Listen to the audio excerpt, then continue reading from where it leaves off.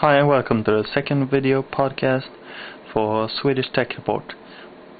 Today I wanted to uh, show you some more hardware functions of the iPAQ 614C.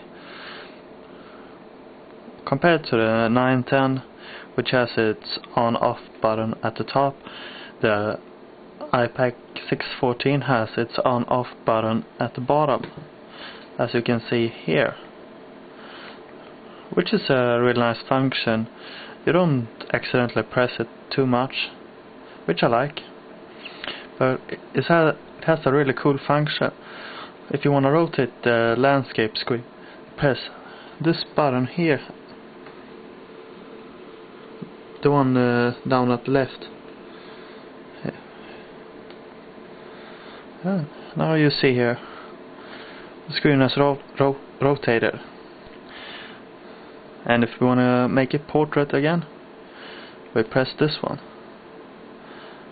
Hey isn't that cool? Now we have the optical joystick. Here you'll notice how the scroller uh, goes between the different areas at my today's, today's screen.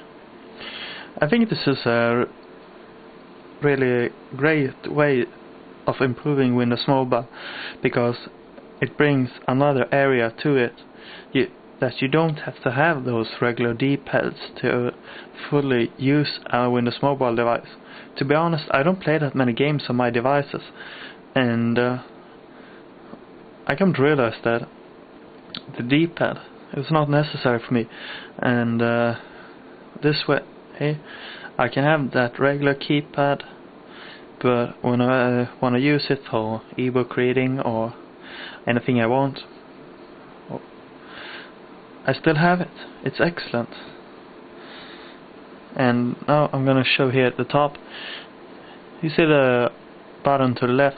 If you press that one, you can switch between vibrate mode or silent mode. An excellent way.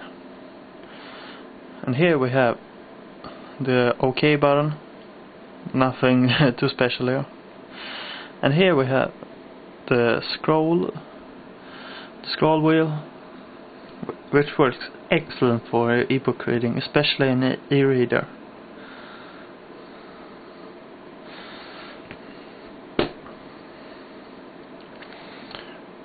Hmm. that's it for uh, this time at Swedish Tech Report. Please uh, check back later and tell me your thoughts.